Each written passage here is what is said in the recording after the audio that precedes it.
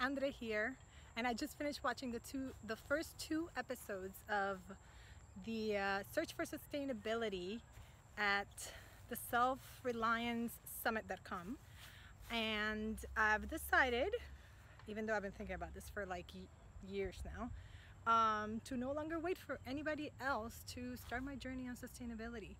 I am um, tired. I think about this every day so uh, here I am starting on my journey. I had a bunch of seedlings at home of uh, different seeds I sprouted myself and I came over and just uh, put them in the ground today so hopefully they'll be feeding me and my family some sometime soon.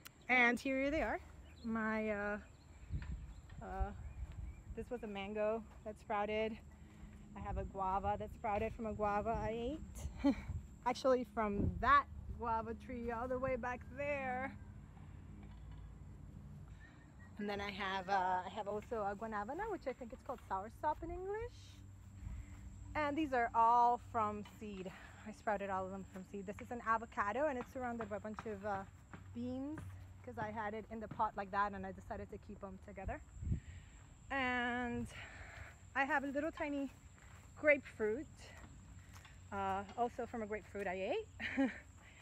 and uh, yeah even though it's kind of small I decided to put it in the ground because uh, it wasn't doing very well in the pot. So just seeing if it's gonna have any survival rate. Um, anyway thank you so much for joining me on my journey to sustainability and I'm uh, super excited. I hope that uh, as I learn uh, maybe you guys can learn something from uh, my mistakes as well. All right see you around